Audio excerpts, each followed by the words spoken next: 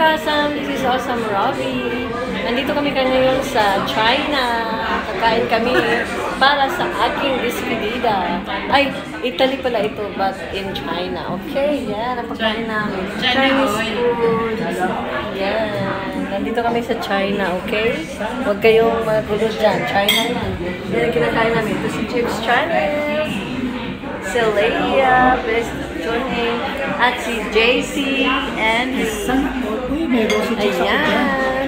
Diyan lang kayo, kakain kami ha. Kasi uuwi na ako bukas. Okay? Maganda naman. Ah. Iba maganda. Maganda rin si Awesome. Ganyan ako eh. Awesome. Kasi mahilig sa pagkain. Okay, dyan lang kayo. Bukas uwi na ako ng Canada from China, Italy. Okay, bye-bye!